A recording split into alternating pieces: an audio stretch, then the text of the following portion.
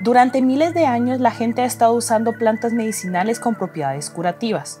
Hoy en día, el 40% de los medicamentos que se encuentran en las farmacias se derivan de las plantas, incluidos los 20 medicamentos más vendidos en los Estados Unidos. Incluso antes de que la palabra escrita registrara el uso de las plantas medicinales, las comunidades alrededor del mundo han estado transmitiendo oralmente el conocimiento tradicional de las plantas de generación en generación.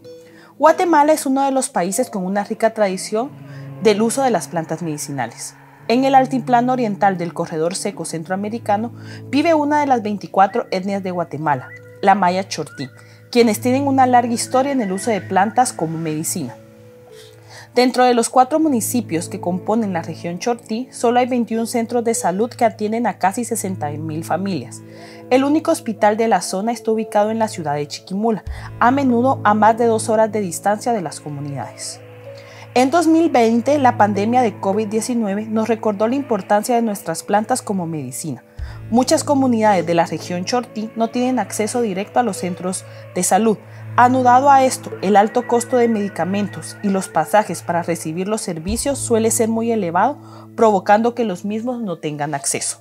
La Organización Mundial de Salud estima que alrededor del 80% de la población mundial depende de los medicamentos naturales para tratar enfermedades más comunes, como resfriados, problemas intestinales y heridas menores. A lo largo de los años, el conocimiento tradicional de las plantas se ha perdido o se ha arrebatado de las comunidades.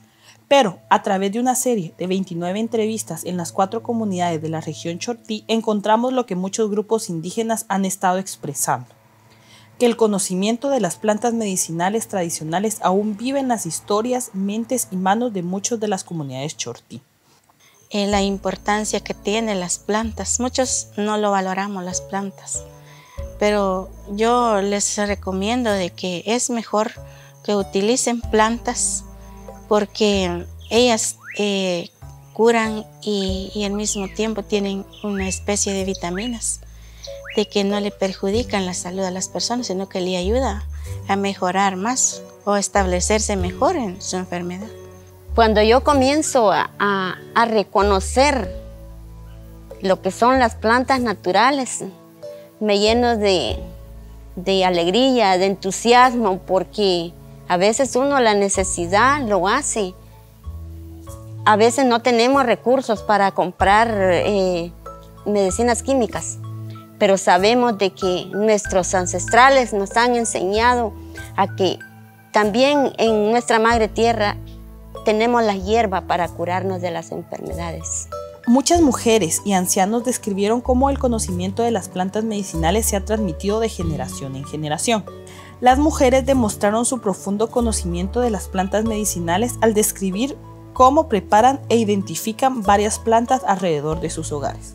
El uso de las plantas medicinales sigue siendo un medio de resistencia en las comunidades mayas chortí para enfrentar todo tipo de enfermedades. Los jóvenes actualmente prefieren ir a comprar medicamentos farmacéuticos a utilizar plantas medicinales lo que está provocando la pérdida del conocimiento ancestral, el desuso de las mismas, creando una ruptura en el traslado del conocimiento ancestral de generación en generación sobre el uso de las plantas medicinales. Aunque muchos en la comunidad dependen de estas plantas, las entrevistas revelaron que muchas de estas son cada vez más difíciles de encontrar debido a la fumigación de los campos agrícolas, el aumento del acceso a remedios farmacéuticos y la pérdida de reconocimiento entre los miembros de la comunidad de qué plantas son realmente medicinales.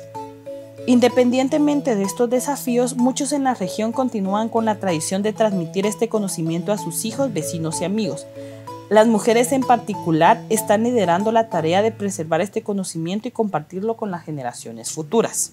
Es importante conocer las plantas y cuidarlas, porque es de nosotros, nos sirven a nosotros y puede ser que algún otro de la comunidad lo necesita y lo busca. Yo se lo regalo, porque yo, yo me gusta ser compartida con las personas. Lo que uno no conoce, conoce a través de otras personas. Y así es como uno va conociendo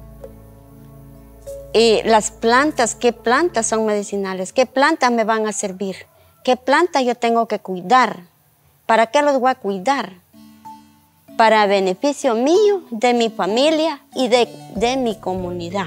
Nuestro mundo natural y recursos locales tienen mucho que ofrecernos y también la gente de estas comunidades que están trabajando en la preservación del mismo. Podemos valorar este conocimiento tradicional a través de capacitaciones como las que realiza Menachor, una organización local de medicina natural, o la Mancomunidad Copanchortí, una organización local de desarrollo comunitario.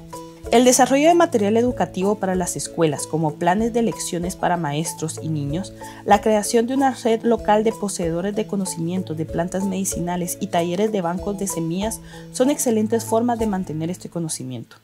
Es importante seguir protegiendo y compartiendo este conocimiento para poder afrontar cualquier reto que aparezca en el futuro y lograr de esta manera que las comunidades sean aún más resilientes.